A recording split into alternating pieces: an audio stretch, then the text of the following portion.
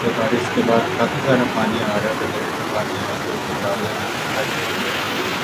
काफ़ी ज़्यादा पानी है जिस वजह से मतलब में जाने में दिक्कत हो रही है रोड ब्लॉक हो चुकी है पूरी तरीके से देखो लोग यहाँ पे इकट्ठा हो रहे हैं क्या कर रहे हैं पानी तो बहुत ज़्यादा बहाव है पानी तो रोड क्रॉस कर मुश्किल लगता है क्योंकि कल तक तो बहुत ज़्यादा बारिश हुई है ना तो इस वजह से काफ़ी ज़्यादा पानी रहा है बहुत ज़्यादा वहाँ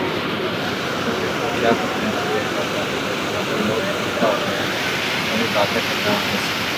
कैसे हो गए लोकल भी गाड़ी वाले हैं वो तो जो बाहर इधर उधर दूर जाने वाले हैं उनके लिए परेशानी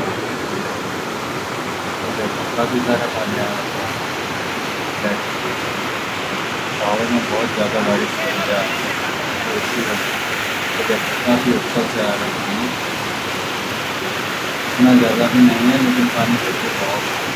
काफ़ी तेज़ बहाव है।